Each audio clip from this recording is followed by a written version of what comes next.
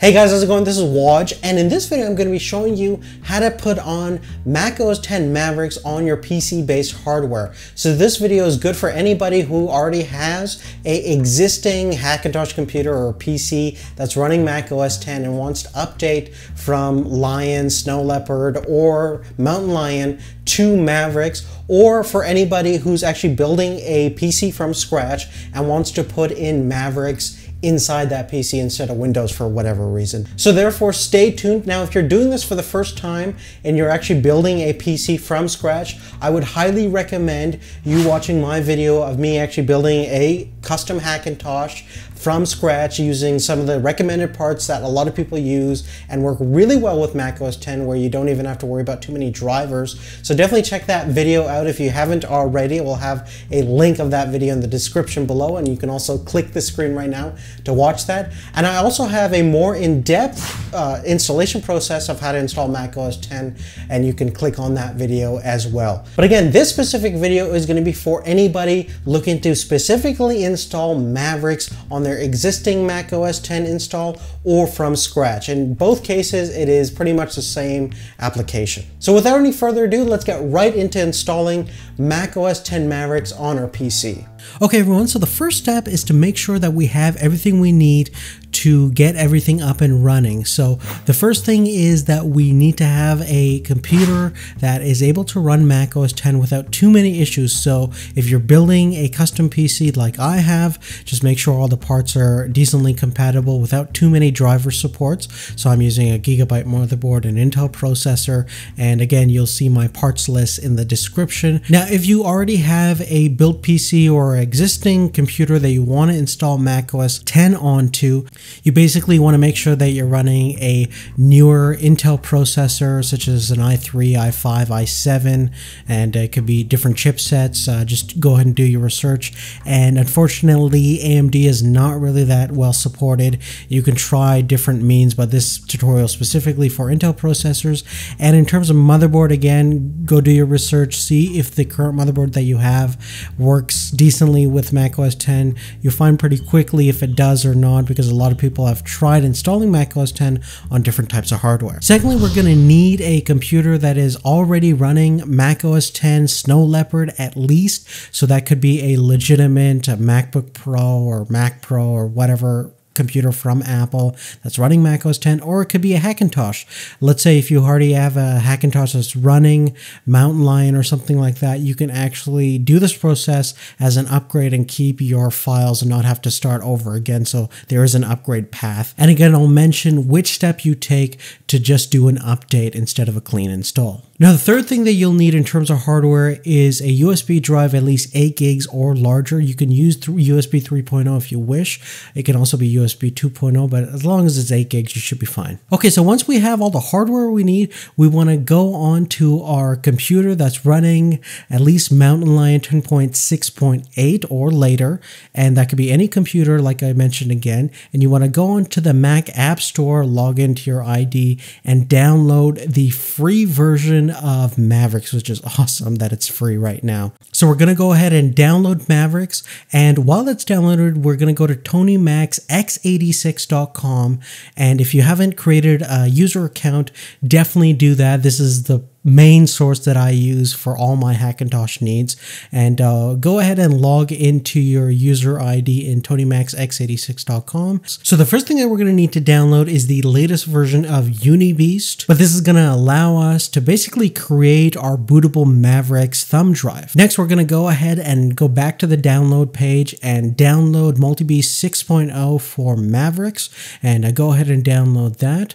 And while that's downloaded, we're going to go ahead and get our custom DSDT for your specific motherboard. So you're just going to go over to the downloads tab and click on DSDT and there you can choose your specific random motherboard and find your specific motherboard and download that DSDT file. Okay, so once we have everything downloaded, you just want to go ahead and drag all your downloads to your desktop. And we're just going to go ahead and rename this DSDT file just DSDT so MultiBeast can do its thing later on. Next, we want to pop in our USB drive, make sure it's 8 gigs or larger, and then we go back onto the desktop and search for disk utility. And once you're in disk utility, you want to click onto the USB drive that we just inserted and uh, go into the partitions tab, uh, create one partition, go into the options and make sure your selected master boot record. And we're going to go ahead and rename this just any generic name. We'll say USB, for example. And we want to make sure we're formatting in Mac OS 10 Extended Journal and uh, we're going to go ahead and apply. All right, now once we're done this, our USB drive is now ready to become a bootable device. Next, we want to do is take our DSDT file and our MultiBeast file and put it on an external drive or maybe email it to yourself. Basically, we want this ready for the new machine. If you're going to reinstall Mac OS 10 on a fresh machine, you want to have these on hand. So, so we'll just drag these two files on our external hard drive over here. Okay, so our final step is to open up UniBeast and we're going to go ahead and hit continue and continue again and just go ahead and agree. And we're going to go ahead and select our USB thumb drive that we just partitioned and we're going to just hit continue there and click on the Mavericks right there and make sure again it's fully downloaded. It should uh, just allow you to continue forth and it's going to ask you for your password and uh, you could just go ahead and enter the password. And this is going to take a little bit of time. It took me about 15 to 20 minutes to get this completed. This is basically doing a lot of stuff. It's putting in your bootloader. It's making sure that Mavericks is easy to boot straight off the USB without any troubles. And if you have the supported hardware, it should just boot off straight off the bat, whether you're doing an upgrade in an existing Hackintosh or brand new install. So now Unibeast has completed making our USB Mavericks thumb drive. And now we can take this USB and insert it to our free USB drives on our PC that we're to install Mavericks on. So we're to go ahead and turn on our computer and press the hotkey to choose which device you want to boot from. If you're using a Gigabyte motherboard, you use F12. If you're using an Asus motherboard, you press F8. So I have a Gigabyte, I'm going to press F12, and there you have our uh, drives that we can select from. We want to select our USB drive, which is our ADATA drive. And once we select the USB, you'll see the bootloader over here, and we can go ahead and press enter and start installing macOS 10. It'll start loading up everything everything it needs to do. Now, I had no problems getting into the installation page based on my Gigabyte motherboard that I have, but if you have any issues, you can type in dash X on the bootloader screen, which is going to allow you to boot into safe mode, which most of the time will get you at least into the installer page. Now, once you make it to the installer screen, you want to go ahead and select your primary language. Now, for a new install of Mac OS 10, you must erase and format the destination drive according to the steps that I'm going to take. But if you want to actually just upgrade from Snow Leopard, Lion, or Mountain Lion that you currently already have installed, you just want to go ahead and click next and just install um, Mavericks just usually and you won't lose any of your data. Now, but what I'm going to be doing is we're going to go up to utilities, go into disk utilities, and here I'm going to go into the partition tab. I'm going to choose to add one partition.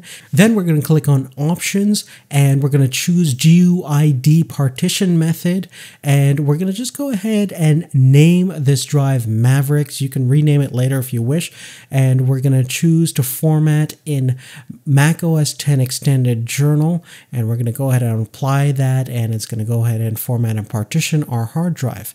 We're just going to go ahead and close the utility now and uh, we're going to continue forth and select our hard drive that we just formatted. This is actually a SSD drive drive that we're formatting, so it should be pretty fast in installing our macOS 10 Mavericks. And uh, this is going to take about 15 to 20 minutes based on the speed of your drive. And once it's done, it's going to actually automatically restart your computer. And once it does restart, it should boot into your USB drive, which has the bootloader. If it gives you an error, just make sure you're booting into that USB drive and you should be at the bootloader page where we can select our Mavericks. And once you press enter on Mavericks, it's going to start booting up macOS 10 for the first time running Mavericks. And uh, this might take a little bit of while because it is building up all the kex for the first time. So just give it some time. If you get any errors again, uh, you can type in a dash X on the bootloader screen uh, and that will get you into the safe mode. But here we had no problems getting into our macOS 10 install. And we're just going to go through these initial steps and connect to our network and things like that. And uh, you shouldn't have any problems getting to the desktop because once you are at the desktop, I offloaded my MultiBeast and my DSDT file from my external drive and put it on our desktop as you see over here.